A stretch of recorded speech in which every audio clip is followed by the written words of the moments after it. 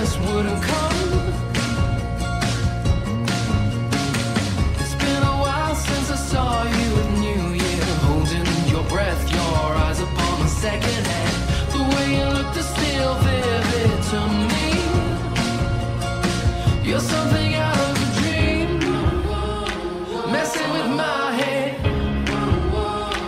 And I've been